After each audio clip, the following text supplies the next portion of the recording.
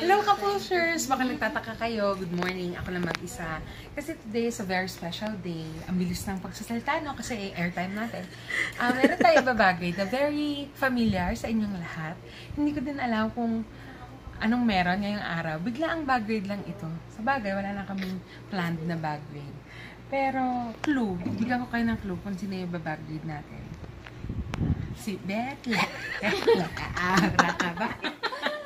Tapos, siya kasi sa office, siya yung may kaya magdala ng pinakamaliit na bag ever. Partida yan. Malayo siya umuwi. Tapos, isa Saan pang- umuwi? Sa QZ. Sinong kasabay umuwi? Diyan pa nagtatapos. Hindi kasi, isa pa, no tito, hello, mag-hi ka naman sa vlog namin. Hello. Wow! Hindi na siya special shy. guest yan, oo. Yun, isa pang Dadating clue, din oras niyan. Close din kasi siya doon sa ibabag grade natin. Very Ano close. ba yun? Very close. Ang linyahan na lagi ay, yan. may sundo ka ba? Ganon. Tapos, last clue, siguro siya yung mga tipong kaya mong kalad ka rin anywhere kasi, Maliban sa alabang. oo, kasi malayo. Kasi best na yun eh. Laging on the go siya, yung forma niya. Last na clue para. Hindi na clue, pero giveaway na. Siya yung partner ko dito sa episode natin lagi. Okay? At wala po ako iba sinasabi kundi si Kuya Burbs. Wala na nagtago na, po oh, hindi na pumasok. Tanan! Hi, anyong! Kausap niya lang po si Mama. At dahil kausap niya si Mama eh, Tayo na lang kukuha ng bag niya. Focus ko lang ha. Hindi po kayo nagkakamali. Wala pong magic. Wala pong halong biro. hand for scale. Yan ang bag niya. Everyday bag yan ah. Uh, take note every day na pumapasok sa bag niya. Everyday bag yan ah. Nagko-commute siya ng yan yung bag niya. At lagi siya may pa-disclaimer na kompleto yung laman nito. So ngayon makikita natin kung talaga nga bang kompleto. Okay? Pero maganda tong bag niya kasi nandito yung zipper. So, safe siya sa mga pickpockets. Binuksan ko na. Pwede ba? Siyempre hindi tayo humingi ng ano, pahintulot. Wala siyang choice. Kausap niya si Mami A. Hi, Mami A. So, yung mga makikita natin ngayon dito, disclaimer lang din. Kasi may plano kang mag-jog today. Plano lang. So, tignan natin kung anong At siya na po. Pakita ate din, yan ang magdidit siya. Kasi hindi siya mag-jog. Ganyan naman yan palagi. Walang Unang item. Coin Pan purse. pan. Trivia. Mahilig siya sa Mahilig panda. siya sa panda. Hoy, upo mo. Yan. Paano niya kaya ito ibabalik? Problema. Doon natin matetest yung skill niya. Oo. Ng light packing. Paano ka mag-ayos ha? Kasi guguluhin ko.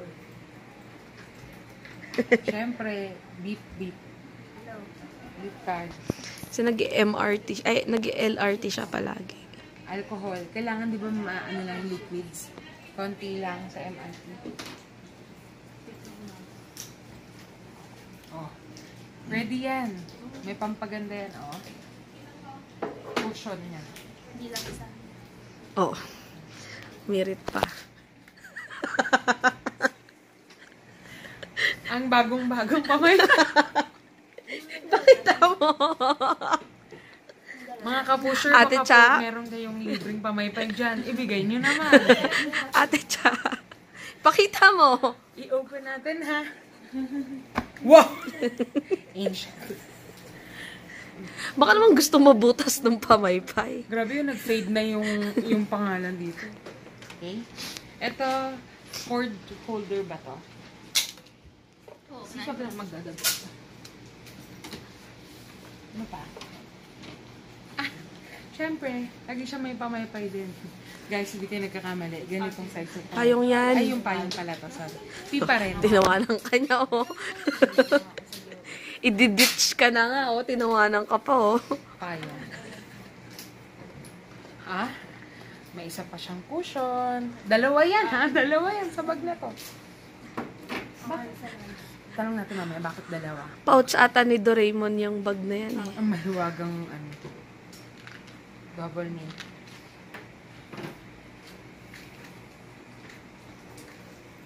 Ah, yun sa salamin niya. Ah, pa muna. Oo. Ah, o, diba? Kakaiba yung mga gamit sa loob ng bag niya, kaya nagkakasya eh. Oops. Hindi ko nalalabas yung isa. May nakita ko. Siyempre, para hindi mag-jam. Eh, kanino galing? Thank you, ma'am. Siyempre, to guide her always. Ba't ka natawa? Para sa mga office mate na. What? Siyempre, yung t-shirt niya pamalit. Mamaya Kasi mag-walking kami. tayo ngayon. Oo. Pero hindi naman ako araw-araw may t-shirt. Oo. Makakalain nila. Bilang hindi ka lang pawisin eh. Kaya, yung bag niya, maluwag pa yan for everyday use. Ngayon na talaga yan, jam. Ayan. May Kasi towel baka pa. pawisan, mamaya. May jogging pants ka, Charles. Hindi, mamaya pa, pakikita natin sa kapuso. Aba, nakapagdala ka pa ng ballpen ha? ballpen na nga, eraser. Laging handa. Ah, stylus dito. Ay, ay sorry, kasi social yung sponsor. Thank you, ah. Rosa to. Thank you. Meron pa? Yun na, wala na. Ay, hindi. Ito last niya. Pin. Para mamaya, hindi sabog-sabog ang buhok. Okay po. So, yan po lahat ang laman ng bag. Ang mahiwagang bag ni Pero Anyo. pakita natin, Ate Deng, yung outfitan niya. Baka po marahil nagtataka Stand sila, up. Magjajag kami. Stand up. Tapos t-shirt lang yung Oh, dala niya, no? ang dala niya, at saka yung bag na to. Ganyan. pag nakita sila ng walang suka, walang pang ibaba. Tignan mo. Tignan mo. Ready? Ready yan. Na. Oh, di ba? Anytime, pwede na siya mag-rub. Ah, ganyan lang yan. Yung short niya, mamaya makikita niyo sa niya tinago ang short. Pero, may tanong lang ako. Bakit dalawa to? Powder to, powder. Ano yung isa? Cushion. Hmm. Pang mabigatang meeting. Pag ito, everyday use. Lipstick. Text ko muna. Wala siyang lipstick. Kasi nga, di ba, sa unang vlog namin, sinabi namin na nag-share lang kami ng lipstick. So, okay lang, wala kang dalang lipstick. May lip balm naman siya. At mamaya ka po sure may part 2. Kung paano niya ilalagay. Ha? Okay. So, may message ka ba kay Anyong? And, Isipin mo na lang birthday niya ngayon. yun totoong feelings sa ate din. Wait lang, wala akong tissue. Ito na lang towel niya. Um, kasi ang tagal na rin ng vlog na to.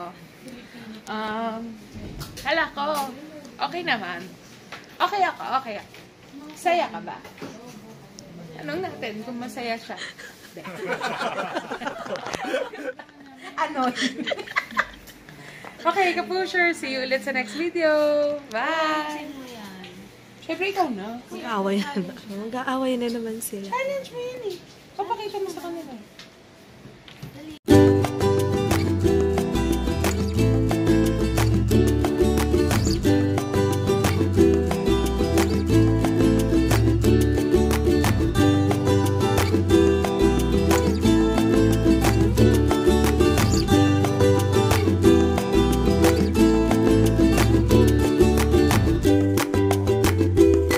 Message ka? Hindi pa paliwanag ako kasi dinudge nila ako. Kasi the light packer talaga ako every since. Kahit saan magpunta.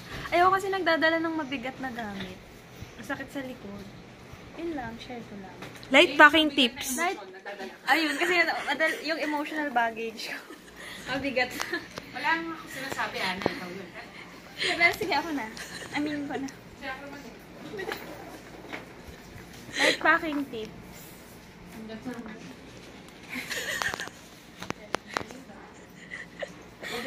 din. Huwag masyado. Baka naman gusto niyong palitan. Hindi kasi may, mapawisin din ako syempre commute commute. Kaso, wag kayo wag, wag na yung ganon. Wag na yung mahaba kasi ano siya, anong tawag doon? Space. Nakakuha siya ng space. May Kaya problema yung- siya dito. Feeling ko may problema talaga siya sa'yo. Tapos mag-invest kayo dun sa payong na maliit. Actually, hindi naman siya everyday nagagamit. Pero, Pero lagi mo siyang case dala. emergency. Eh, mag-invest sa kanya. Hindi daw, eh, sino ba?